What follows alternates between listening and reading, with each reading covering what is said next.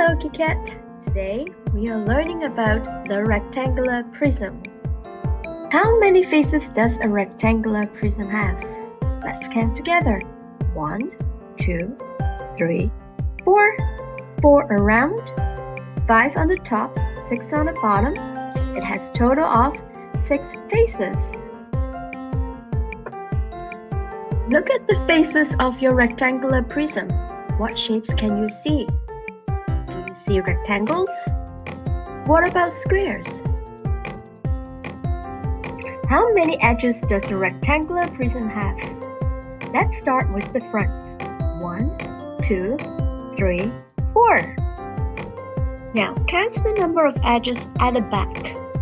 Five, six, seven, eight. Almost done. We just have to count the side edges on the top and the bottom. 9, 10, 11, 12. The rectangular prism has 12 edges. What about the number of vertices? Let's count together. 1, 2, 3, 4, 5, 6, 7, 8. It has 8 vertices. I think you are ready to make a model of the rectangular prism. Go and get the toothpicks and Play-Doh.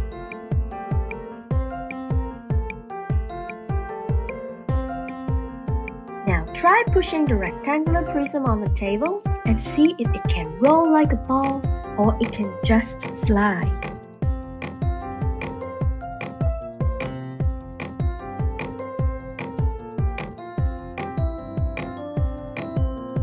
Can you find out if the rectangular prisms can be stacked?